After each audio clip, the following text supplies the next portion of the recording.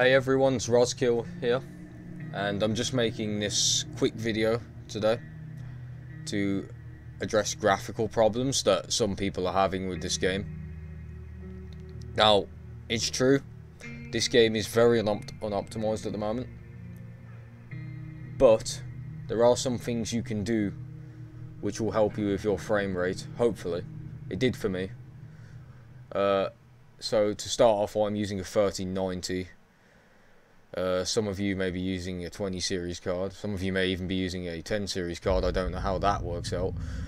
Uh, I hope your PC's not blowing up on that one. But anyway, so first thing you should do is make sure that dynamic resolution is set to on.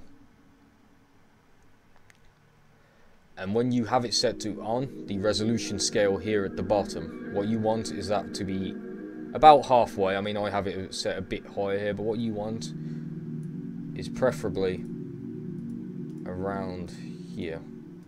Something like that. Next, what you want to do is frame rate limit. You want to set the frame rate limit to 60. I don't see the point in having anything above 60 because this is not an, this is not a PvP game. This is a co-op game. You don't need anything higher than 60 frames. You might need higher frames in a multiplayer game, a PvP game, but this isn't PvP, and it's also unoptimized. So I'd set it at 60 frames a second. I mean, if you want to as well, you can set vertical sync. I don't know whether that would help or not. Uh, as, on a 3090, I'm using mainly high graphic settings.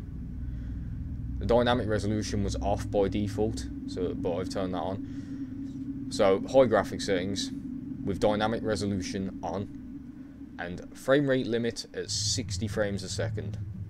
And hopefully that should solve your issue.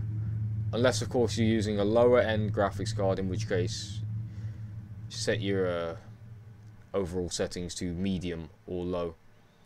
But I hope this uh, I hope this works for you and I hope it helps and I hope that you're able to play Forever Winter on something more than 20 frames a second or in my case when I first booted this new version it was two frames a second. It was awful. It was like a slideshow. Anyway, see you later, guys.